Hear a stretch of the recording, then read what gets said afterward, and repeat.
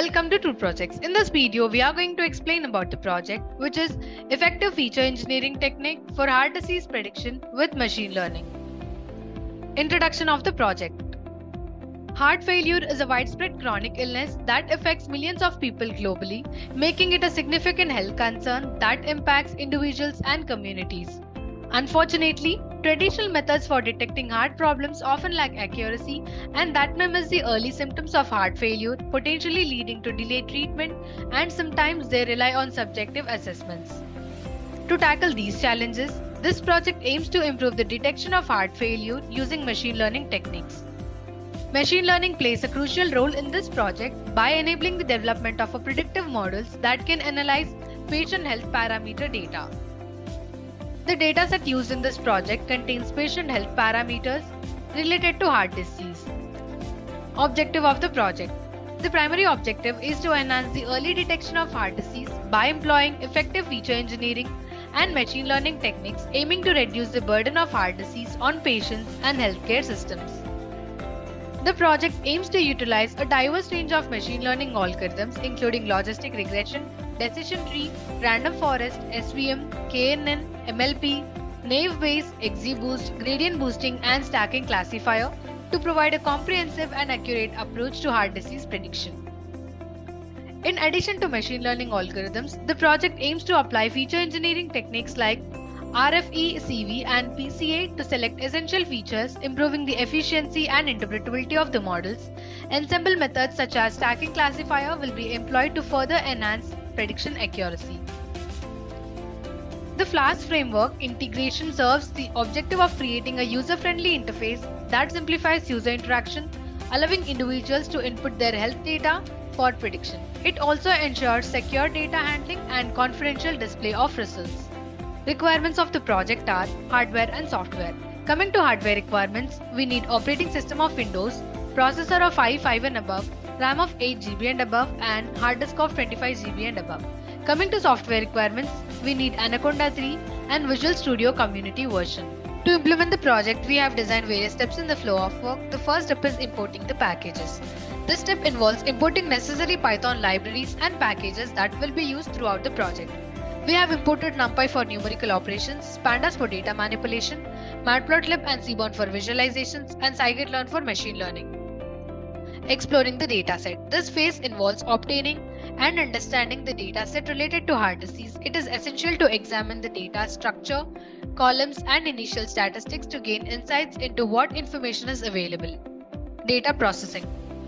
The dataset is converted into Pandas data frame, a popular data manipulation tool in Python.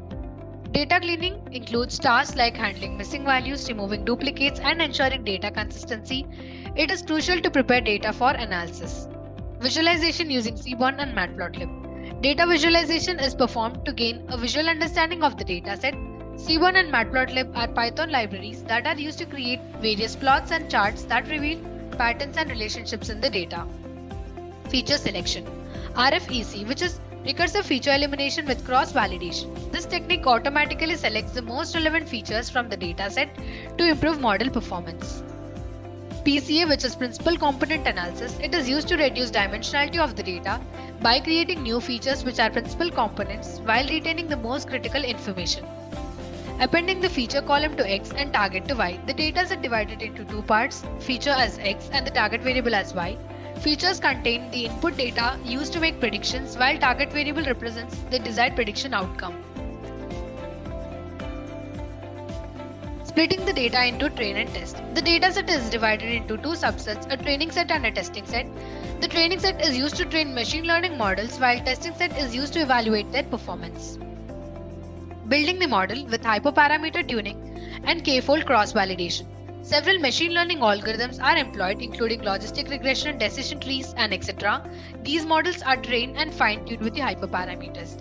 K-fold cross-validation is used to assess the model's performance and ensure they generalize well to unseen data. We have used the algorithms which are logistic regression. It is a statistical model used for binary classification. It models the probability of a binary outcome based on one or more predictor variables. Decision tree. It is a supervised machine learning algorithm that is used for both classification and regression tasks. It creates a tree-like model of decisions and their possible consequences. Random forest. It is an ensemble learning method that combines multiple decision trees to improve prediction accuracy and reduce overfitting. SVM, which is support vector machine. It is a powerful supervised machine learning algorithm used for both classification and regression tasks. It finds the hyperplane that best separates data into different classes while maximizing the margin between them. KNN, which is K nearest neighbor. It is a simple instance based machine learning algorithm used for classification and regression. It makes predictions based on the majority class of its K nearest neighbor in feature space. MLP, which is multi-layer perceptron. It is a type of artificial neural network consisting of multiple layers of interconnected neurons. It can be used for various tasks including classification and regression. Naive Bayes, it is a probabilistic machine learning algorithm based on Bayes' theorem. It commonly used for classification tasks. XGBoost Extreme Gradient Boosting. It is an optimized gradient boosting machine learning algorithm known for its speed and performance. It is used for classification and regression tasks. Gradient boosting. It is an ensemble learning technique that builds multiple decision trees sequentially with each tree correcting the errors of the preceder. Training the model. Here we train all the algorithms for the dataset. As an extension, we apply ensemble methods which is a stacking classifier which combines the predictions of multiple individual models to produce a more robust and accurate result and it is used final prediction and we built front end using Flask framework for user testing with user authentication. Flask framework with SQLite for sign up and sign in. Flask, a web framework for Python, it is used to create a user interface. SQLite is employed for user authentication and data storage.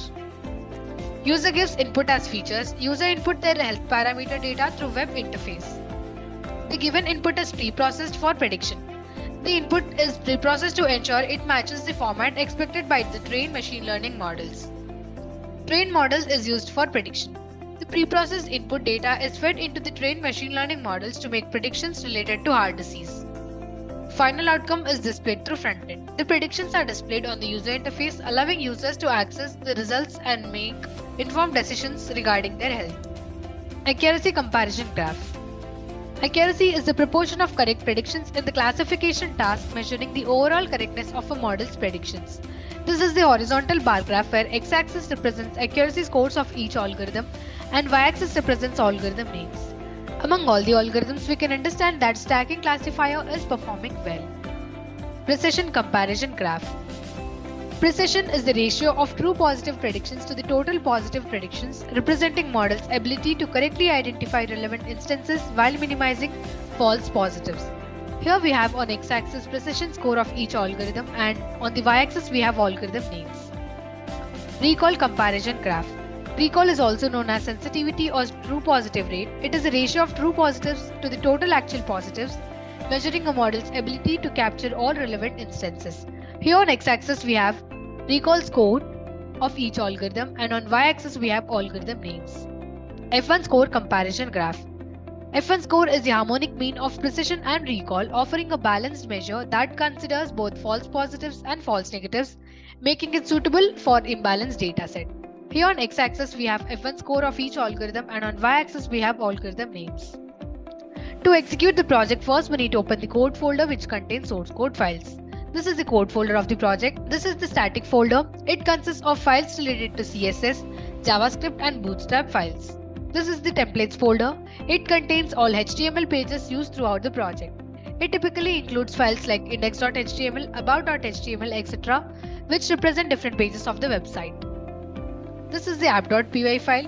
This file contains information related to front-end logic. It includes code written in Python, that handles server-side operations such as processing user requests, interacting with the database, and generating dynamic content that to be rendered in HTML templates. This is the model file, which contain algorithm information and that will be loaded into project code during runtime. This is the notebook.ipynb file. It is a Jupyter notebook file which contain a combination of code, graphs and outputs all in one place. It allows users to write and execute code in individual cells, making it popular choice for the data science. This is the sign-up file. This file is the database file used to store the user information. Now we will copy the path of the code folder from the address bar of the file explorer. So I'm copying the path and now we need to open the Anaconda prompt.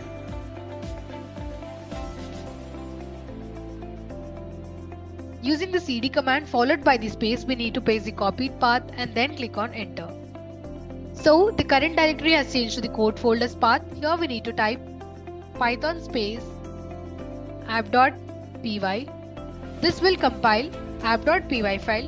This command will execute the Python script and perform a runtime errors, runtime check for any syntax errors or logical issues. Now we need to click on enter.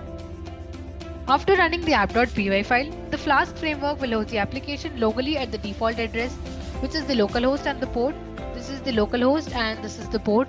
Now we need to copy this local link provided by the framework and paste it in any browser. So I'm copying this link. I prefer Google Chrome so I'll paste it in that. So here we'll paste the link and then click on enter. This is the web page of the project which is displayed in the browser and this web page is built by using the Flask framework. So here first we need to click on sign up and enter all the sign up details if we are signing up newly. I have already signed up so I'll directly click on sign in. Here we need to enter our credentials which are the username and the password. And now we need to click on sign in. We have signed in successfully. So here we can see that we need to enter all the details of the patient and then click on predict. Based on the given parameters, it will be predicted whether the patient has disease or not. So now let us understand the parameters. This is the age. It is an individual age of the person. Chest pain type. It categorizes the nature of chest discomfort experienced, including angina, which is related to reduced heart blood flow, and non anginal pain, providing insight into potential heart disease symptoms. Resting blood pressure. It is a blood pressure measurement taken when individual is at rest. It is recorded in millimeters of mercury. Serum cholesterol. It is a level of cholesterol in the bloodstream and it is measured in milligrams per deciliter. Maximum heart rate achieved. The maximum heart rate achieved in the highest heart rate a person attains during exercise. Old peak ST depression. Old peak is also known as ST depression. It is a measure of extent of depression of ST segment on electrocardiogram during exercise or stress testing. CA number of major vessels. CA or major number of vessels typically refers to the number of major blood vessels that are visibly affected or narrowed by atherosclerosis or other cardiovascular conditions. This is TAL, often referred as thallium stress testing, can indicate the presence of coronary artery disease by evaluating blood flow to the heart during exercise. So now we will enter all these parameters. Age of the person is 52. Chest pain is 125. Resting blood pressure is 212 and serum cholesterol in mg deciliters is 168 maximum heart rate achieved is 1 old peak is 2 ca number of major vessels is 3 and the tal is 0 and now we need to click on predict. Here we can see that the person has a heart disease and it is based on the given input provided and now we will enter other patient details. So the age of the person is 52, chest pain is 0 and resting blood pressure is 140. Serum cholesterol is 203. Maximum heart rate achieved is 155. Old peak value is 31 and the CA number of major vessels is 0 and the tal value is three. now we will click on predict. Based on the given input, it is predicted that the person has no heart disease. In this way, if we give health data, which is patient data to the system, then the system will predict whether person has the heart disease or not. Conclusion of the project. The project successfully enhances the early detection of heart disease through the application of machine learning algorithms and effective feature engineering techniques. This improvement can potentially lead to better patient outcomes and reduced healthcare costs.